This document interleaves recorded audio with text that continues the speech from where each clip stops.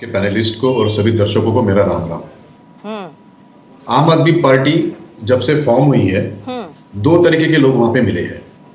एक वो लोग हैं जो कन्विक्ट होके जेल में है दूसरे वो लोग हैं जो कन्विक्ट होने के लिए अक्यूज बनकर बेल पर है।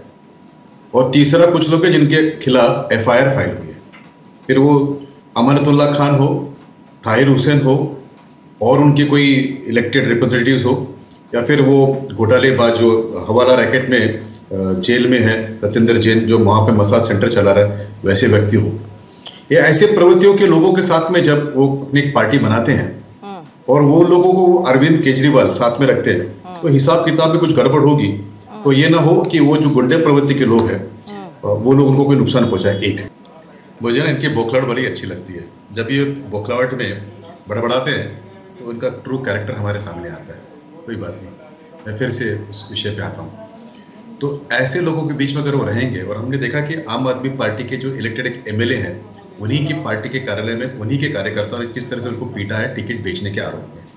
तो ऐसे लोगों के बीच में अरविंद केजरीवाल रहते हैं खुद करप्ट हैं खुद इन्वॉल्व है कई सारी चीज़ों में। तो हिसाब किताब को लेके भी उनका मारपीट हो सकता है। आम आदमी पार्टी जो करप्ट वायलेंट लोगों के ताहिर हुसैन कौन है?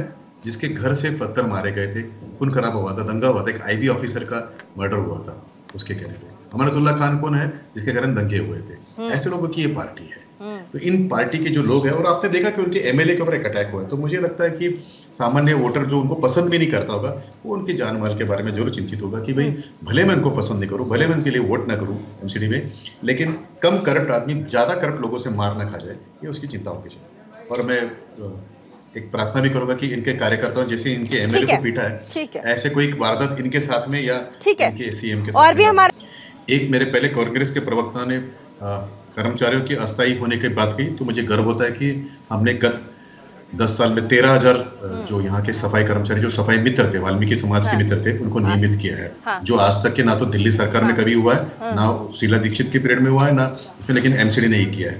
नंबर दो 3200 बेड के नौ नौ अस्पताल। और 130 महिला स्वास्थ्य केंद्र जो है और 123 डिस्पेंसरी ये चलाए गए इसमें डायलिसिस सेंटर भी चलाया गया।